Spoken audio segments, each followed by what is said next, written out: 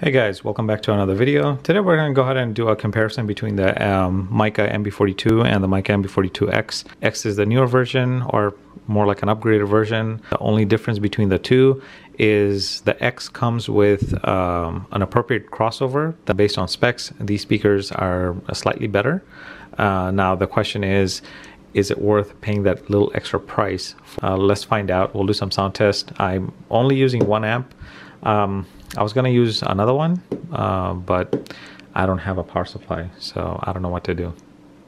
And without a power supply, I can't really hook up two different amp to run these things. Uh, so I'll just have to, in between, just switch the wire, swap out the wires in the back, and continue with the playback. So that's pretty much it. There isn't a whole lot to look here. There isn't a whole lot to talk about here. Um, everything else is the same. We're just gonna play some tracks and I'll give you guys my feedback on what I notice, uh, you know, what sort of sound differences I can pick up. As usual, uh, the microphone is about a feet and a half away from uh, the speakers and I'm going to keep the volume at, um, you know, medium, not increase it too much. Uh, we'll keep the treble and the bass exact same. Um, so just to show you guys what that looks like. Yeah it's just it's not a whole lot. I'm not maxing it out. It's at a position where i like it. And same thing with treble. It's at a position where the audio sounds a lot clearer to me. Uh, volume i'm not going to mess with that too much. Um, it'll just stay at you know quarter way in. That's plenty of uh, audio for the microphone to pick up. And let's go ahead and uh, do some sound testing and we'll figure that out so we'll start off with a mb42 and then i'll switch the mb42x in between um, and as usual, I'll play one of those tracks that I'm familiar with, that I already know, uh, so then I can kind of understand and uh, talk about some of the differences with low frequency or high frequency that I notice. Okay, let's do it. Okay, MB42s are all hooked up, power on, and let's play.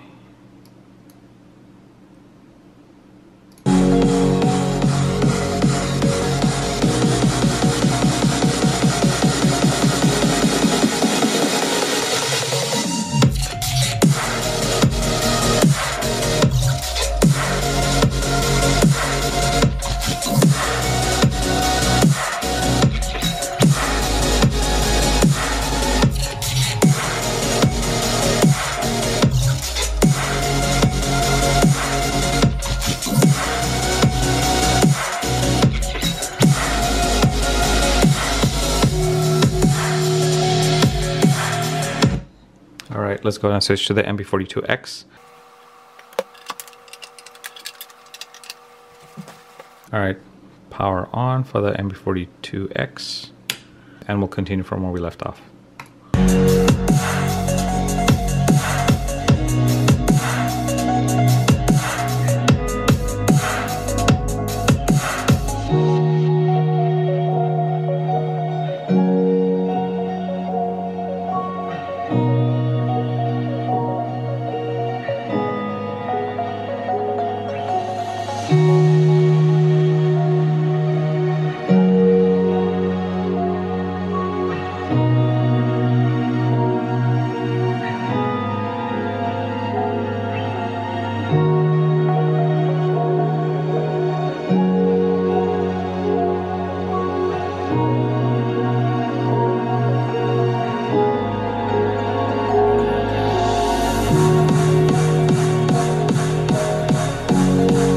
It does sound, I can hear the low frequency a little better on this one.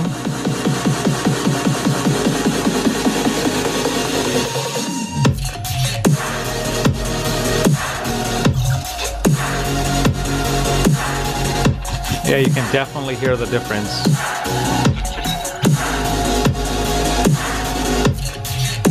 All right, um, so I can definitely hear the difference between the MB42 and MB42X. Um, so having the crossover unit does help. Let's go. Let's go and switch over, so, and uh, you know we'll continue where we left off.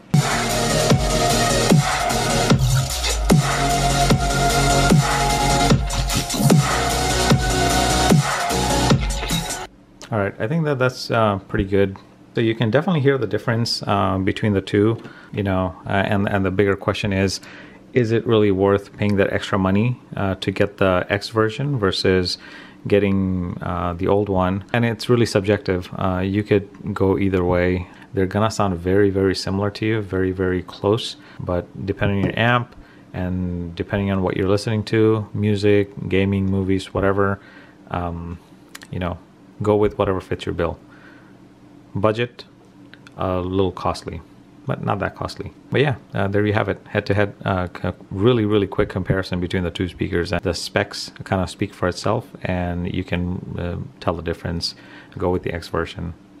Plays a lot stronger. Can uh, will push those um, uh, low frequencies a lot better. Um, yeah, that's kind of it. Pretty short, huh?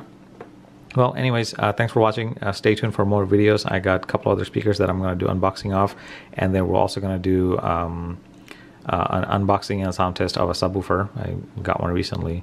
Uh, thanks for watching. I'll catch you on the next one.